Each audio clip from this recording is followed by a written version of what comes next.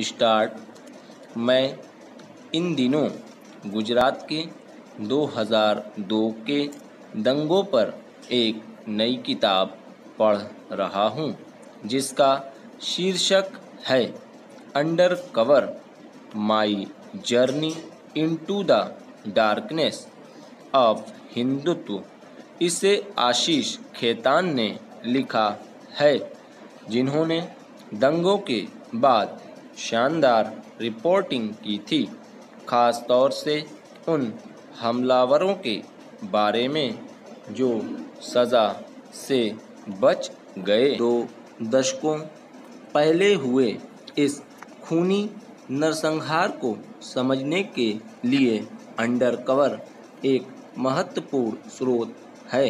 हालाँकि यह वर्तमान के बारे में भी बात करती है। क्योंकि तब जो उस राज्य में शासन कर रहे थे, वही आज केंद्र में हैं। मोदी के गुजरात में खेतान लिखते हैं कि यदि किसी नौकरशाह या पुलिस अधिकारी को आगे बढ़ना होता था तो उसे पूरी तरह से व्यवस्था के छल कपट का हिस्सा बनना पड़ता था। प्रधानमंत्री के रूप में नरेंद्र मोदी और गृह मंत्री के रूप में अमित शाह के आने के बाद केंद्र सरकार के लिए भी यह बात सच है।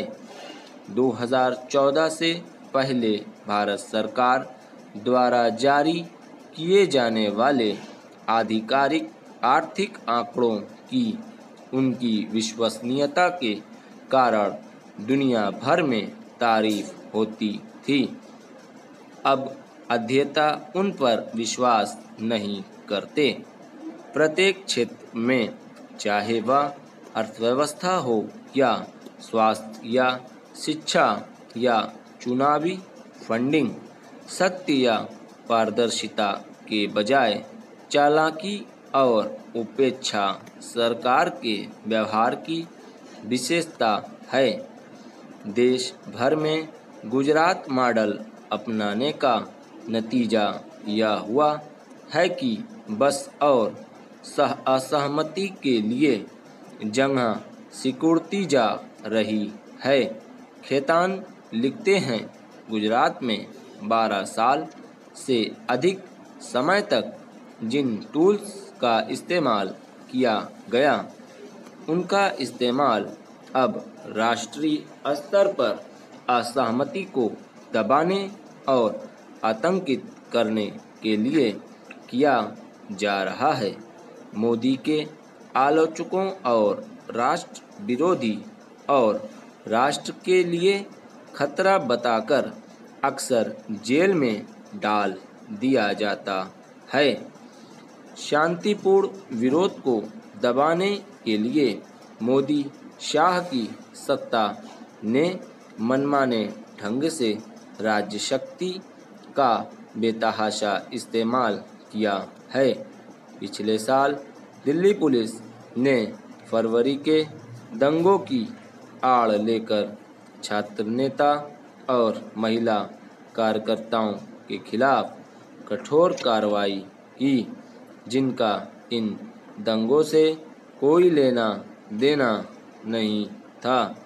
वहीं दूसरी ओर उसने उन शीर्ष भाजपा नेताओं के खिलाफ एफआईआर दर्ज करने से इनकार कर दिया, जो खुलेआम हिंसा के लिए उकसा रहे थे। दंगों के मामले में पुलिस के पक्षपाती रवैये के बारे में जूलियो रिबोरे ने लिखा, दिल्ली पुलिस के खांटी अन्याय वाले रवैये ने इस बूढ़े पुलिस वाले की अंतरात्मा को झकझोर दिया। राज्य पुलिस की दुर्भावनापूर्ण मंशा पुलिस की कार्रवाई में दिखती है, जिसने सप्ताहांत में गिरफ्तारियाँ की।